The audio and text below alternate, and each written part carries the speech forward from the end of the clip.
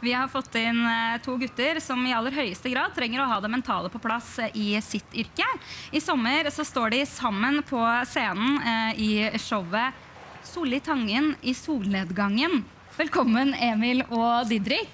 Takk skal du ha. Tusen takk. Veldig vanskelig å, å ikke først ta tak i dette navnet. Solli Jeg så Tangen. du var litt sånn i solnedgangen, og det Ja. er meninga. Ja, Det er, det er derfor vi har valgt det. Det var, en sånn, det var jo egentlig kona til pianisten vår som kom opp med det navnet. Bare sånn, Vi satt og jobba med showet og tenkte skulle mamma ha en arbeidstittel. ja.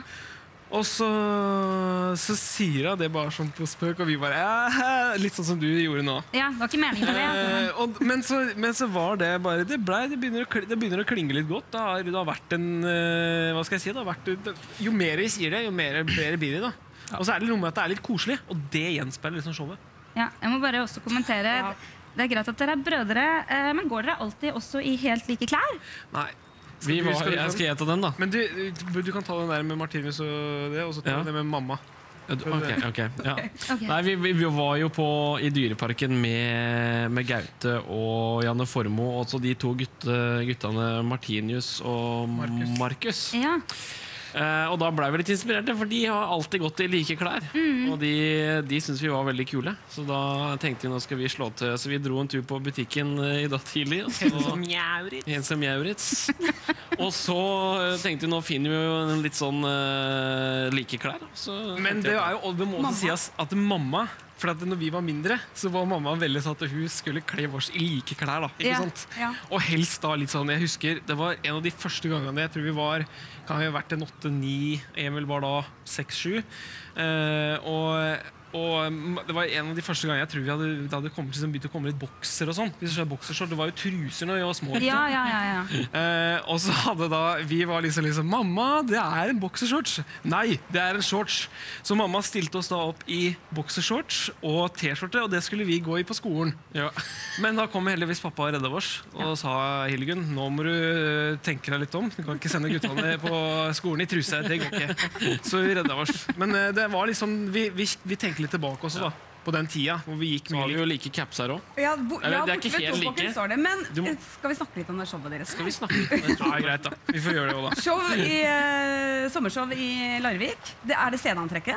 Nei. Ved Tobakken står det ikke Nei, det er ikke det, altså. Det var en liten morsomhet som vi tenkte da. Vi har ikke for smoking og bånn gass. Det blir, eh, det blir mye Det blir et veldig hva skal jeg si, fint, classy, classy bilde. Veldig samkjørte der, men jeg lurer på hvordan det er å jobbe sammen som brødre. Grunnen til at jeg lurer er at jeg har to søstre sjøl. Og vi kan jo ikke dekke på bordet engang uten at mamma må komme og avbryte og si nå må dere roe dere ned. Det blir bare krangling. Ja, er det med kjenner dere? Vi, Det kjenner ikke vi så godt til. Nei. Det, den, Nei, vi, den vi, har, vi er egentlig veldig gode kompiser eh, på alle plan. Og vi, altså, vi, vi, ja, men meg, Emil og meg henger eh, sammen eh, som, eh, som erteris. Eh, Ja. og, og det er veldig, men det er klart, vi, vi har noen Det er noen uenigheter. Når vi, Om hva da? Som vi skulle jobbe sammen. For eksempel, sånn var det vel når jeg sa at jeg ville ha manus på Ja, showet. han ville ha manus, og jeg nekta. Jeg vil ikke ha manus, for jeg liker best å jobbe på frihånd. Ja, Eh, jeg vet åssen det går. men da, men da, men da krangla vi litt, men så ble vi enige. Ja, det det, men det er ikke på noe dypere plan enn det, og det er heller ikke på noe grunnere plan enn det. føler jeg. Vi krangler ikke over en tallerken eller en kniv som ligger feil. Eller, eller at du ikke kan sette inn i oppvaskmaskinen. Vi ja, sammen Vi har ikke krangla om det heller, vi. Vi har krangla om det. vi er inne på det, er litt sånn, det, er litt, det er litt gnisninger, men det er, sånn må det være. Ja, veldig hyggelig. Eh, vi hadde jo mentaltrener Erik Bertan Larsen her før dere kom.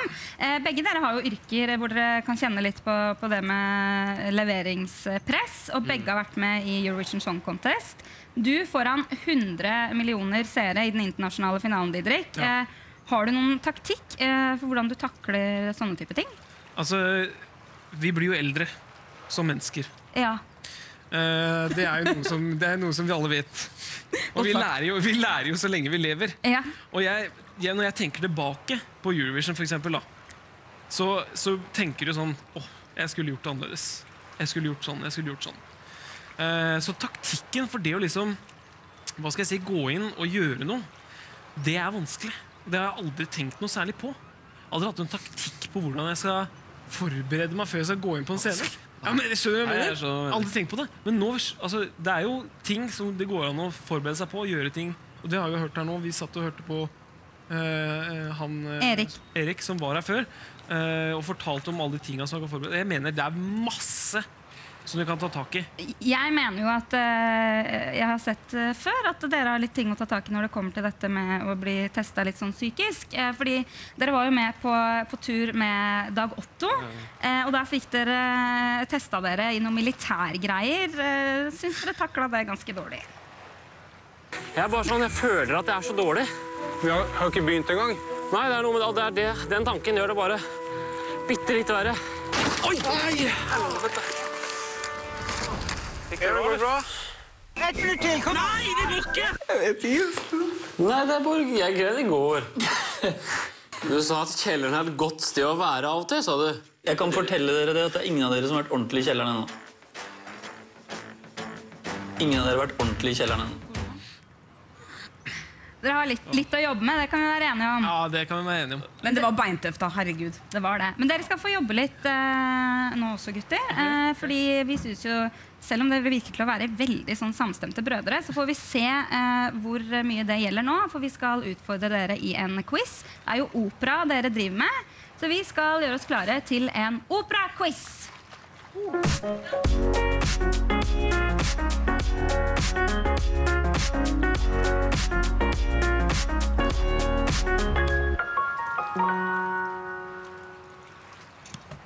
Dette skulle jo egentlig vært en strømquiz. Jeg tar på meg den. Eh, hvor da eh, Didrik og Emil eh, skulle få strøm i armen eh, dersom de svarte feil. Eh, dere er litt redde for det med strøm. Hei, hei, hei. Jeg. Jeg sa jeg kan godt ta på meg det, men du er redd for strøm, du òg. Ja, ja. Ja. Men Jeg er det kanskje som er mest redd, for jeg hater strøm. Ja, men jeg har funnet en annen passende straff eh, til taperen. Eh, eh, så den av dere som får færrest eh, riktige her, eh, skal hoppe i havet på Aker Brygge med klær, syns jeg er gøy. Er det gøy? Det er greit, Hvis jeg kan ta med den, bare så at jeg har greit. å ha på meg etterpå. Ja. Men da klinker vi til eh, med operaquiz mellom brødrene Solli Tangen. Emil, hvor mange drops er det i operamint? Ok. Jeg fort svar. tipper 23. Feil! Det er 47. Didrik, hvor gammel er Oprah Winfrey? 63. Feil, hun er 60. Nei! Emil, eh, hvor mange besøkte Operahuset på Bjørvika i løpet av de første fem årene? To millioner.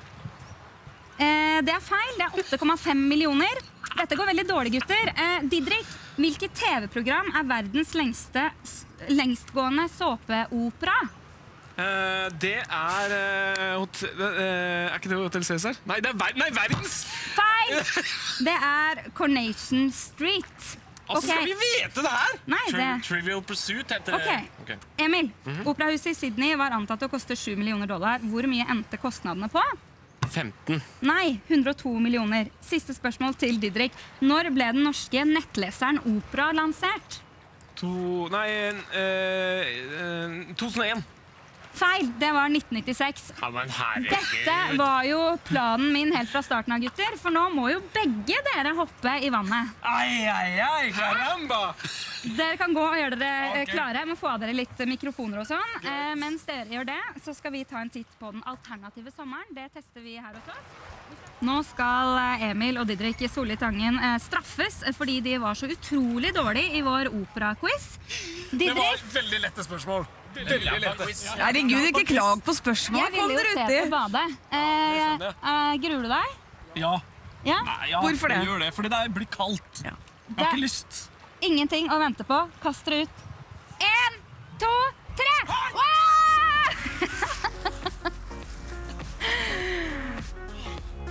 Når vi er tilbake, så kommer Samsaya, og så skal vi snakke med to 25 år gamle norske gutter som har starta hotell i Kambodsja. Vi ses snart.